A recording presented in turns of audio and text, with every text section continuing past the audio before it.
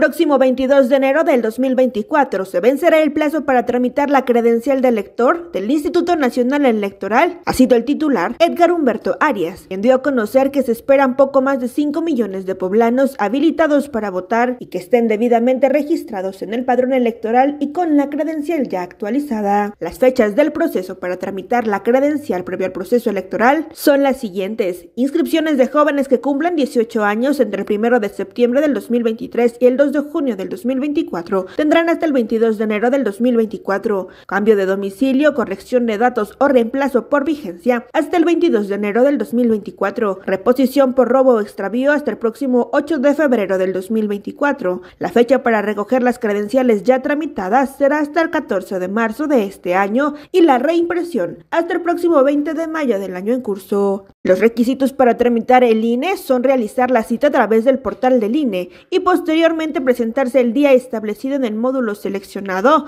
con acta de nacimiento, identificación con fotografía, comprobante de domicilio. Si no se cuenta con alguna identificación o comprobante de domicilio, se deben presentar a dos personas que funjan como testigos. La primera persona deberá tener su credencial para votar inscrita en el mismo municipio o alcaldía en donde se encuentra el domicilio de la solicitante y la segunda en la misma entidad federativa en donde vives. Para recoger la credencial es necesario acudir al mismo módulo en donde se el trámite y llevar el comprobante que se entrega.